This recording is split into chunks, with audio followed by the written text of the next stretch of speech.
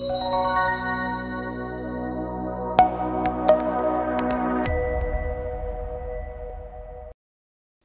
familias, how's it going? So I wanted to make an announcement that Comida for Familias is now switching channels. So instead of looking for this channel, I want you guys to start looking for this channel.